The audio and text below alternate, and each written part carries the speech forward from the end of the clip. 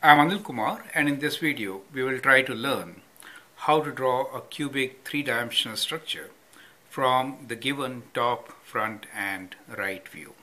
So we are given top view, front view and right view of a cubic structure. We need to sketch the three-dimensional figure here. So the top view is we have four different squares and there is a step there correct so you see that step right? So so from the top you see six squares six cubes I should say.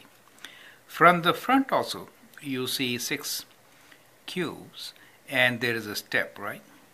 But from the right you do not see any step. So that is how it is being placed. So you can pause the video try to sketch uh, the diagram three-dimensional figure of something whose top, front and right is given to you.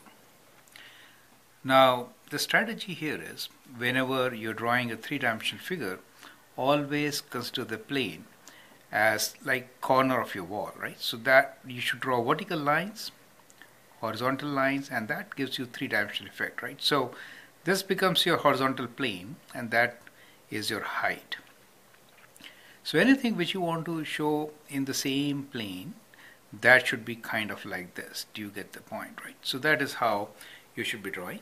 And if you have to give the height, go upwards.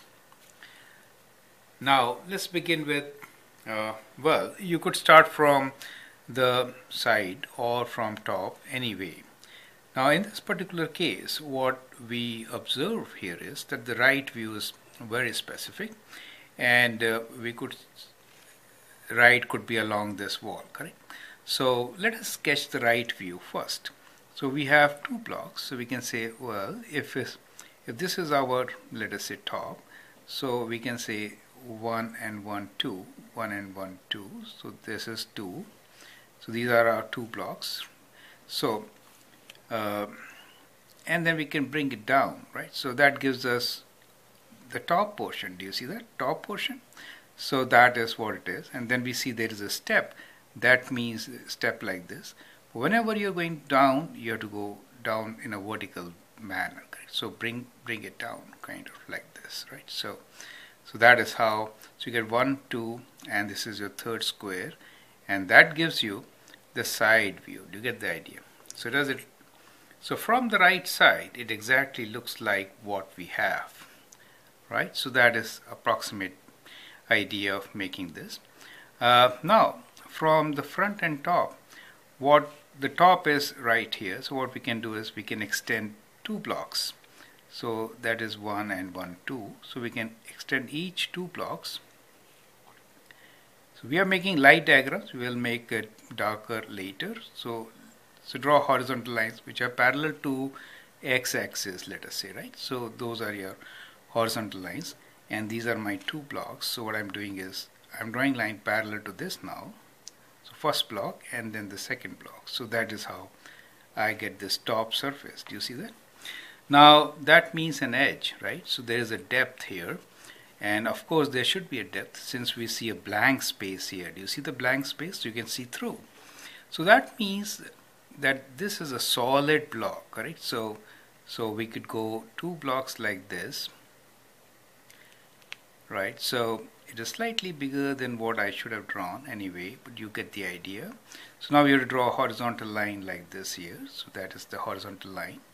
This is the horizontal line. So you can see that this part is is the top and now you can see the front. That is the front. And uh, if I draw the horizontal line here also. So what we notice here is that becomes the the depth, right? So this is the depth given by these lines. So at this stage we have a depth and then we can bring it down and complete our figure. Right, so so I hope with this kind of a sketch which I took time to draw so that you understand how it is. Now look at it. From the side view, this is our side view. See, this is the side view given to us.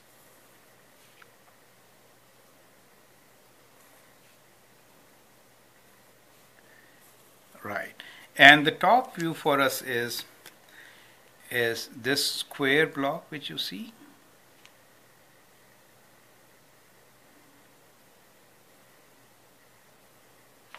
That is the edge correct? And then then we have this part. So that is the top view right? So this is the edge. Or you can say the depth correct? And from the front you can see that from the front we have here change in height change in height. So you get this to the second level. Do you see that?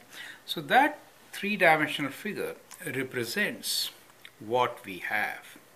At times what you can do is you can also work with uh, your cubic blocks to see and visualize. So in this particular case what we see here is that there are cubic blocks 3 and 3 each of 2 2 types right? So two rows three columns. So we could have one like this. Let me just share with you like kind of like this right? So so these are the two blocks okay?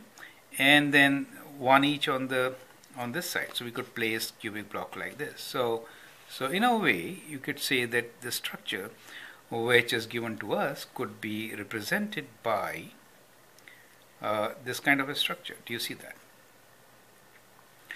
so that is your real model, correct? So that is the model which you could uh, use to sketch your diagram.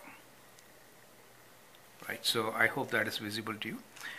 So you could visualize from the given top, front and right view and then sketch or you could make a model just as I've shown you here and and then draw what we drew, correct? So so what is key here is always to draw lines which are in one of these directions, right? Vertical, that is the horizontal and that gives you the depth, right? So, so that is your surface. So this is kind of one surface. So whenever you draw a surface like this, so these are your parallel surfaces. Do you get the point, right? So, so these are parallel surfaces and this gives you height. So you can go above and then create your structure of building one block over the other using that kind of an axis.